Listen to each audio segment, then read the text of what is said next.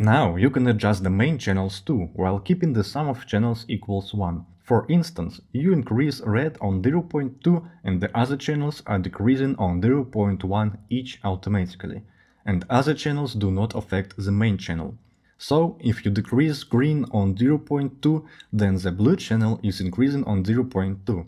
The main red channel is static, plus I added a monochrome mode. It just transforms the image into black and white in the same way as a native RGB mixer. But you still can adjust the colors before to make a special monochrome look. There are some nuances which I am going to describe at the end of the video. And for those of you who don't understand what exactly DCTL Simple Mix is doing, I inserted my previous videos here, but with my voice now. One day I asked myself a question. What if we can use an RGB mixer depending on luminosity, like lift, gamma, gain, but to mix? I created three nodes, used a qualifier to select needed luma ranges and started to...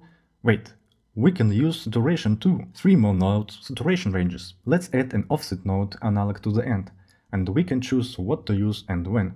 Ah, we cannot select the entire range for soft in the qualifier, and it is very time consuming to build it, to use it, preserving the sum of 1 in channels. It's not quite what I have been thinking about. And here I came up with a brand new DCTL.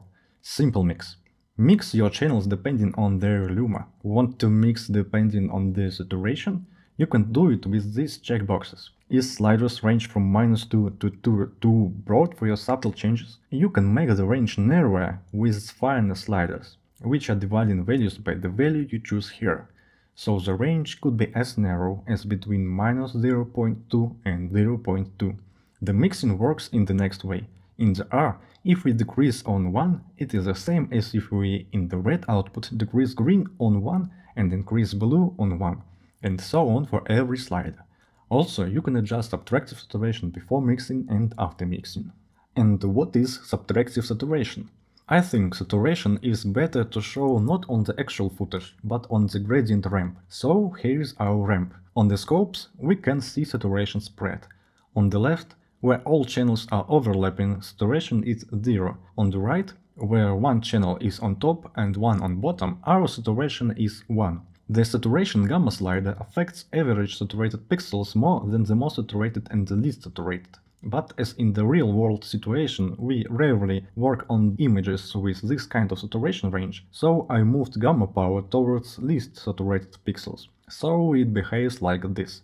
As you can see, it has the most power on the pixels with saturation of 0.25. The saturation gain slider is much simpler. It affects the most saturated pixels more than the least saturated ones, and its result is almost the same as adjusting saturation using the gain primary wheel on the HSV node, or even absolutely the same. Why is it subtractive though? While our native saturation knob takes the luma of the pixel and pulls color channels towards or against the luma value, subtractive saturation takes the channel with the biggest value and pulls other channels to or from this value.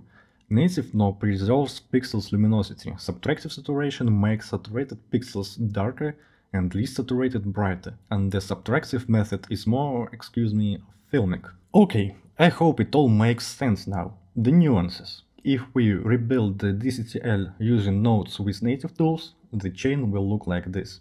Adjusting the main channels first and only then the secondary channels. In the monochrome mode, our saturation, which goes the latest, is converted into gamma and gain. Sort of. The gain is gain, yes, but the gamma curve behaves in the same way as for the saturation, mostly for shadows. That's all, and this video now is complete description of this DCTL. If you have a question, use the comments or contact me directly. All links in the description. What do you think?